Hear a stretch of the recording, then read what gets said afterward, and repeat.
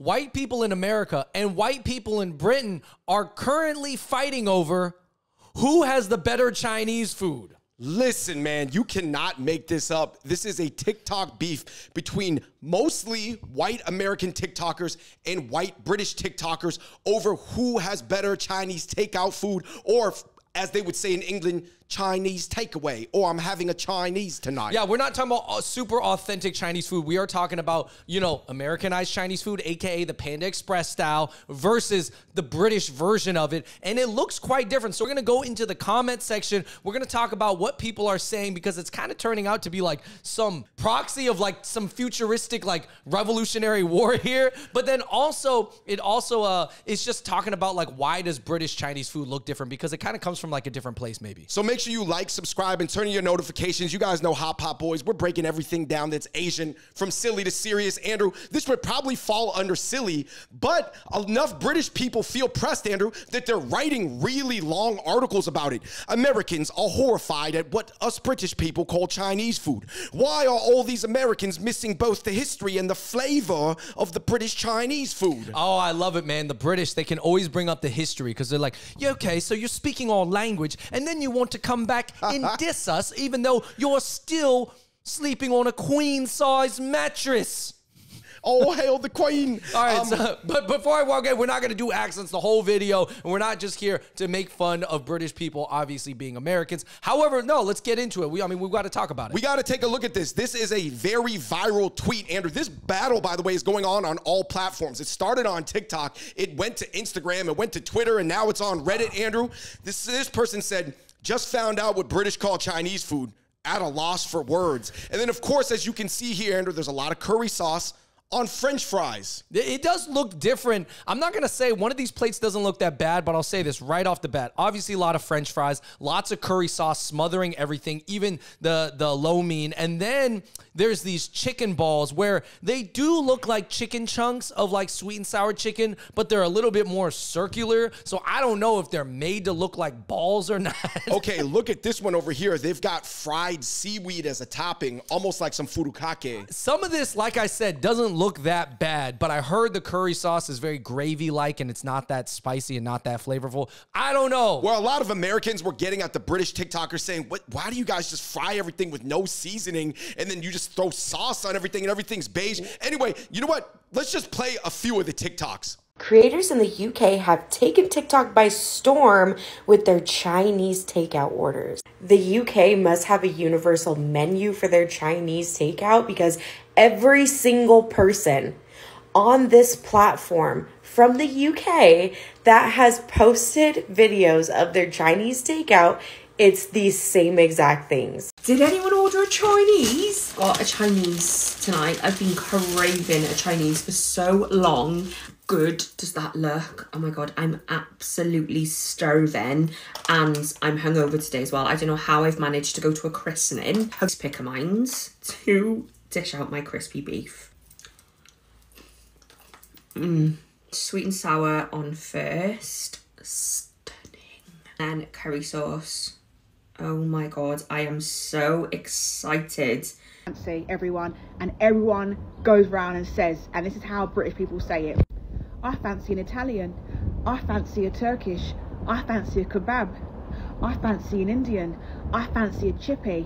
Real quick, guys, we got a word from our sponsor, a brand new chili oil that is debuting at the end of this month called Smala that is gonna come kicking in the door of the game. We are very excited to announce that actually it is our chili oil. We made it. Uh, we've been working with a professional kitchen over the past year. If you guys follow us on social media, we've been kind of teasing it a little bit just to prove to you that we've been working on it. Here are some sample bottles of different chili iterations and versions that we've had. So trust me, guys, we've been working hard on this. Uh, it's very delicious. We stand by it. It's gonna release uh, very, very soon. So if you are interested to hear more about it and you want to know when it releases and you want to have a small discount when you order it, please click on the link down below and fill out that Google form. Um, hit us with your email. It has also some other questions. It takes like two minutes. Long story short, guys, I know that chili oils are trending right now. There's a lot of them out on the market. Some of them are old school, some of them are new school. Believe me, we did the research, we spent the time, we spent the money. Obviously, here's Lao Gan Ma.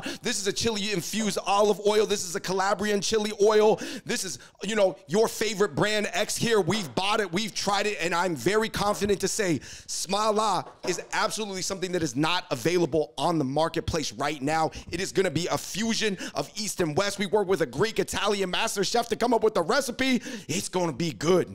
All right, everybody. Again, click on that link down below if you guys are interested and you want to hear more about it and you want to be the first to hear the news when it releases. Thank you so much. Put it on your British Chinese food. Back to the video. Long story short, Britain has actually had Chinese food for 120 years because there was a lot of uh, sailing back and forth between Britain and Hong Kong. But it didn't become popular until 1970. It's gone through a few iterations there, but it has gone through less evolutionary phases than Chinese food in the US. So, long story short, it's about 20 to 30 years behind, and that is evidenced by the funny looking beige fried bulb photos. You know, Well- like some Chinese food in America looked like that in the Midwest 20 to 30 years ago. No, I mean, I think if you go to certain corners of Tennessee, Alabama, or Wichita, Kansas, the Chinese food probably somewhere in that Yeah, it town still looks can look 80% like that. I Yeah, would say maybe 90%. it- you know, the food is not really looking like that in the big cities. Um, but I will say this, David, the curry sauce. Do we know if the curry sauce comes from like the Hong Kong, Macau side, or is it coming from the Indian influence because there's a lot of Indians in Britain? So I did a little bit of Reddit research. This is unconclusive, like scientifically, but it looks like the desire for the curry sauce comes from their consumption of Indian food. Indian food in the UK is considered very good, better than the US, but Chinese food, obviously, not so much. However, so the desire for the curry came from the Indian side, but the actual curry itself is more of a per, uh, Portuguese Macau HK style. And I'm not gonna lie, guys, just based on the numbers, there are way more Chinese people in America than there are in the UK. So obviously, I don't know. The Chinese food is probably better in the US. By the way, let me give the British props on one thing. These xiu yim shu tiu, these uh, salt and pepper fries from some of the spots with the onion, green scallions, those look good. That kind of does look good. All right. Anyway, let's get into the comments section, guys. You know, we got culture wars. Somebody said, Can you believe they call this Chinese food? And the British uh, shot back, Can you believe that Americans call this Italian food? Because I guess the Italian food in the UK might be more authentic. I'm not sure. The culture wars of America. Somebody said Panda Express has more variety than the entire UK put together. Yep, Panda Express is delicious and still ran by Chinese people. Remember that. Of course, some people, you know, shot back with some darts at uh, the U.S. due to the mass shootings and things like that. And somebody said, "Well, at least our schools don't get shot up, you stupid American." And then the, uh, Americans were like, "Why do you guys say Chinese like it, you're saying Chinese, like you're saying Indian chai tea with your knee?" They also Chinese. This is a really interesting comment. Somebody said, I feel like this is a lot of Northern England Scottish Chinese. You know, here in London, we're far more cultured and we've moved past this phase. These people are lower class and from the countryside.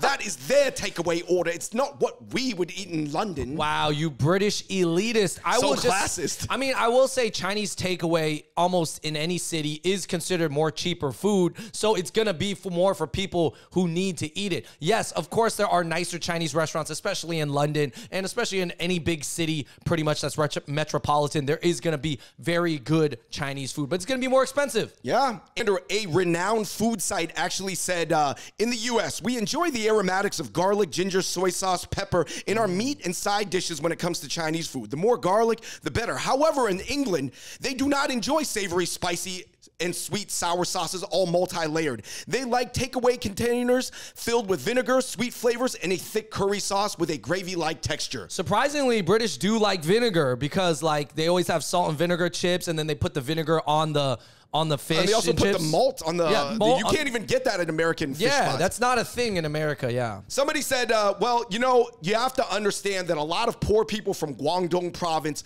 went over in the late 1800s, all throughout the 1900s, and that is the core basis for British Chinese food. Obviously, in America, Andrew, we do also have a Toisan immigration that uh, came to set American Chinese food, but there was also Taiwanese people, there was Fujianese people, there was like um, I guess a lot of people from a lot of different parts of China. But I, I think ultimately the food looks different because it is adapted to the British taste buds, and British food and taste buds are a little bit different than America, seeing that America actually has way more immigrants and way more different ethnic influences. all they want to do is eat them boiled peas over there. Them No. boiled peas and put beans on toast, man. This is where like the rednecks of America can look at the British and be like, "Hey man, listen, come on man, we got some Native American influence. We got the Italians, we got the Irish, we got the Iranians, we got the Somebody said, man, thinking about it, I've never even seen a British person eat a ve- single vegetable in my life. They don't even eat crab rangoons over there, man. What's going on? yo the peas and carrots, crazy." Of course, the British people were defending themselves, Andrew. Ordering greens from a Chinese takeaway is the same as ordering a salad from McDonald's. You just don't do it. Yeah. Um, long story short, man, Andrew, people were getting at each other. It got to school shootings. People are talking about preservatives in the food. Some people said, man, this doesn't look appealing at all. British food is just really bland. They make sure their Chinese food is bland. Somebody said, bro, it looks all soggy. Their whole country is soggy. And people were like, oh, why do you guys even call it French fries? It has nothing to do with the French. And then, of course, Americans, well, that's just what we call them. Well, we invented the language. Well, we mastered it. Yeah, I think, David, all in all, this kind of boils down to the fact that whenever Chinese people went to a different country or even a different city, they basically, in order to sell the food in high volume, adapted flavors and customized the flavors and localized the flavors to the taste of the people. I heard that there are either even peanut butter filled dumplings over in Tennessee somewhere because just Tennessee people, they don't just want pork and chicken in their dumplings, they want peanut butter. Yeah, I mean, it doesn't surprise me. I would say that Chinese food is the most adapted, hyper localized cuisine in the entire planet. Um, if you look at America, Andrew, it's a very big country, it's very diverse, a lot of different races here. Um, I would say that any Chinese restaurant in any zone is catering to a five mile radius around it. But if you're in the heavy metropolitan dense zone, Andrew, any Chinese spot in New York City is catering to the next five blocks around it. That's why when you go to Spanish Harlem, you get Chino Latino. When you go Mm-hmm. to Alphabet City, you get a certain type. And when you're in the Upper West Side, you you might get some like Jewish Chinese American cuisine. Yeah, and, and everybody has their own favorite type of Chinese food that they stand by. That is almost their identity. So we have to understand that when you diss on British Chinese food, you are kind of dissing on British people. well, you're you kind of dissing on part of white British culture, Yeah, right? same way- The- but isn't it funny that it's white people arguing about their adapted white Chinese food in America, dissing on white people British Chinese food? Yeah, because there's no Chinese people in this conversation yet. Like literally, No, I've not been seen completely left out. I have not seen that many video responses or any videos responses from an Asian person that was like, because it's not really an argument we need to get into. in a way, Andrew, is it more their culture than our culture at this point? Even though, of course, somebody who might look like us is cooking the food. Yeah, I think that's an interesting question. Do some white Americans actually identify so strongly with American Chinese food even more than I would? Like I, I, don't would say so. They not, eat it more often. That's not the food I grew up eating. I eat. I did eat that time to time. I will tell you this. Not, I always tell this story. Growing up, the white kids at school had more serious debates on whether to eat a fortune cookie or not than the Chinese kids would. I never heard the Chinese kids have that heated debate in the lunchroom. You know why? It's because the Chinese people were just like, yeah, that's all just like American Western food. So it's it's cool. Like we'll eat yeah, it. but whatever you just- guys are doing, yeah, sure, argue about it on TikTok. TikTok's on No, but then they're like, that's my identity. Like I, I grow. I love the lo mein. I love the chow mein. I love the chicken chow mein. That's my. Sh-. And I'm like, whoa, no, you feel that's you, man. Yeah, I mean, to be honest, I'm more a little bit on Team America because the Panda Express does look way better than whatever they're eating. I'm not saying what they're eating is bad though. I have to try it. Um, Andrew, last but not least, somebody came in to defend British taste buds, saying, you know, we fought a lot of wars that you guys didn't have to fight on your own soil. So we went through the ration days, and we went through days where a lot of our country did not have good ingredients. So when the Chinese came, they're working under those conditions, and maybe those are the conditions that also developed our taste buds. So don't judge us, because we fought your wars, America. so it got into a little Yo, bit of I history. love. I'll tell you this: one thing that British people always have over America is history. Man, they will bust out the history just to no end. Like you're speaking our language. We fought the Well, because they had to fight in World War II on the Europe side, whereas America was obviously more isolated, right? Um. Anyway, Andrew, let's get into the takeaways. Andrew, why do you think this went so viral?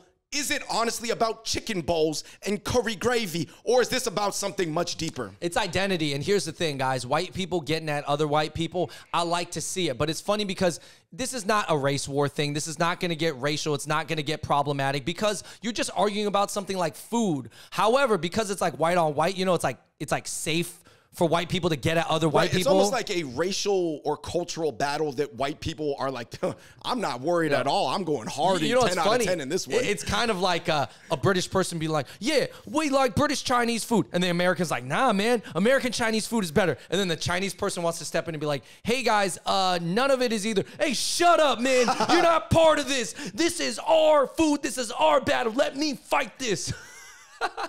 That's why I'm just like, I'm out of it, guys. Hey, you do your thing, man. The plate looks good to me. Fine. Um, what do you think from a Chinese perspective, Andrew? So many people have all these visceral feelings about the type of Chinese food that's been adapted to them. I have a Dominican friend was like, "Papi, papi, Dominican Chino Latino is way better than Cubano Chino. Like Dominican Chino is better than." Cubano Chino, basically saying the Dominican Chinese food was better than the Cuban Chinese food, and I was like, "Man, I, do I have a say in this, or what, Well, what's, what's my side?" I mean, this? to be honest, in a way, you don't have a, a say in this because that's not the argument. right? Because the the chuletas was built for them, right? I 'Cause mean, we don't even know what a chuleta is. You know, is. they right? have there. There's this really popular chow mein dish in Guatemala, and if so, if Gua- a Guatemalan who's from there tells me like, "Hey, you know, that's like my favorite." Noodles that I ever had in my life, man. Like I just love that's the Guatemalan chow mein. Yeah, and but I'm it is like, interesting as a Chinese person that you always have somebody who's like from Guyana or like Venezuela look at you and just go, "Yo, man, I don't know. The best Chinese food is in Venezuela, fool." But it's true too. I never, just gotta- I'm never offended by it, but I'm always just like, oh yeah, that's It's interesting. I don't know how to contribute to this because I, I never had Venezuelan Chinese. I Well, need to try anyways, guys, uh, you let me know in the comments down below. Is this the great American versus British beef that we need right now? Um, is it something trivial? It's kind of fun. It's fun to talk about. But no, of course, I personally think American food is much better than British food in general. Okay, but let's give them credit. Some of those dishes look cool. Have you seen the list of ingredients on your M&Ms and your Cadbury eggs? They use 40 different ingredients that we've banned in the UK because we actually care about the long-term health of our population. Oh, do you think that on the back of our ingredients it says red 50 and blue 40 and green 70 and all these weird words and numbers? No, it doesn't. I feel it, yeah. You know what? America, I think, has some of the best food in the world, but also some of the worst food for you, too. I will say this. I think America definitely should change those standards where they like, you know, use fructose corn syrup for everything. But I'm not gonna lie, some of that stuff it tastes kind of good. I don't know, guys. Let us know what you think in the comment section below. I do want to go to London. I do want to go to the UK. If I need to go into the countryside where they never even seen somebody who looks like me to try these chicken balls with the curry gravy on it, I'm gonna do it, and I'm gonna give it a fair rating. All right, everybody, let me know in the comments down below. Uh, have you seen British Chinese food? What other types of Chinese food do you really like from other regions and other localizations? Let me know because I'm curious. Leave it in the comments. All right, until next time, we out. Peace.